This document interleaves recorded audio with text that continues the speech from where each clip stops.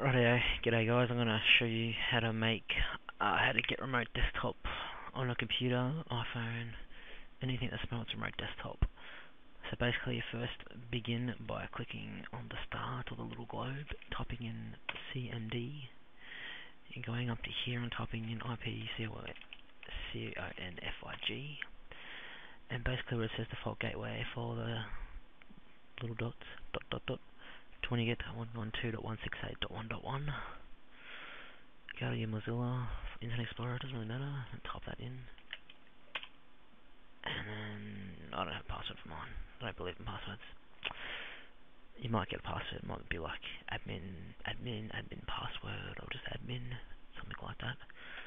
Anyways, when you get into the modem, look for something that says port forwarding, or something like that. Once you get into it, it may look something like this we want to add a custom service. Service name, I want to call it remote desktop. Uh, make sure the service type is TCP-UDP. Starting port is 3389. Uh, it's probably written in here. And this service IP part is the part where we want to, what computer you want to access, or what computer will make the port available to. My computer for IP address dot dot dot dot dot is 192.168.1.2. Okay. So pretty much I'm going to type 2 in there. Once this is done, just press apply. And now that's in there. That's pretty much all you have to do. Kinda. Sometimes there might be um, a firewall setting here. You just have to add that service pretty much. And I think you have to tell it to allow that TCP-UDA, whatever it was, that, that service part. Other than that, you're pretty much good to go. Um, then what you have to do is log out. Hang on. Shit. Um, after you've done that, go to the globe, go to computer, right click, and go to properties. Once you've done that, go to Advanced System Settings, and then go to Remote. Make sure you go to this, because you have to allow remote assistance connection to this computer. So you want to click Allow, and where it has, click on the option, um, click on Less Secure one, only because if I'm wanting to remote desktop from a Windows XP computer, it's going to let me do it because it's Windows 7, but if I want a remote desktop from a 7, well, I could probably just go to, you know, a more, you know, the top one or something like that, or it's going to have to be the middle one no matter what. So, I'm going to click Apply, and click OK. Once that's done, you can close out of that window, and then we have to do is to go to the globe again, and go to Control Panel, go to User Accounts, because we have to set a password now, because it won't let you do remote desktop without a password just to make it a bit more safer, I guess, or more secure.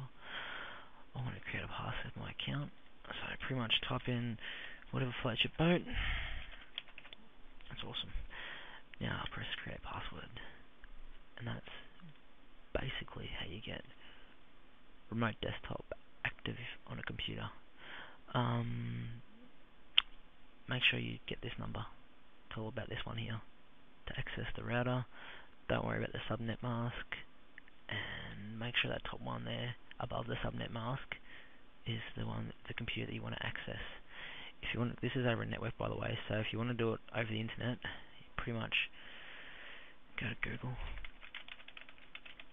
and uh, type in what's my IP, and it'll give you the site here, and basically it'll tell the top my IP address is 214.5. I'm not going to give away the rest. Because hackers. Motherfuckers. Anyways, what you would do is you, if you want to do it over the internet, say I'm finally deciding to do remote desktop, iPhone, computer, whatever, computer, you type in for the network, you'll type in 192.168.1.2 because that's this computer's network location address thing. If it was over the internet, I would type in 192.214.57 and I'm not giving away the rest. Um, if I go here, computer, username, so you put in the username, which for me it's word Werdna, which is Andrew backwards.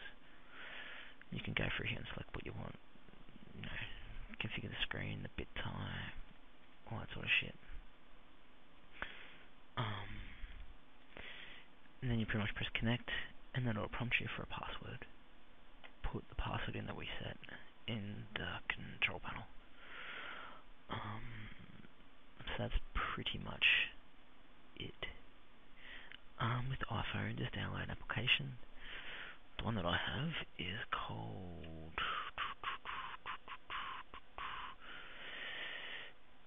Get out of that, fuck yeah. It's called R Remote RDP. Basically, you go to menu, you go to edit connections, you put into the IP address, whether that's network. Say if the iPhone's on a wireless network, you could access that computer remotely network. Or I guess the thing you want to do is just internet. Just put in the internet IP address, put in your username, put in your password. You can put in the name of the connection if you wanted to. You can select the screen resolution. Um, and then pretty much just press connect and you should be good to go. So yeah, hope this helps.